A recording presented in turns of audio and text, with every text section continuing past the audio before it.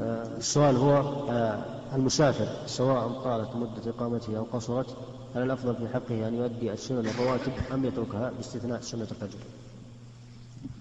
أولا يجب أن نعلم أن المسافر مطلوب منه أن يتنفل بجميع النوافل ما عدا راتبة الظهر وراتبة المغرب وراتبة العشاء ثلاث والباقي يفعل كل شيء فإن قال أنا أحب أن أتطوع قبل الظهر وبعد الظهر وبعد المغرب وبعد العشاء قلنا لا مانع. تطوع لكن بغير النية الراتبة. بنية النفل المطلق. نعم.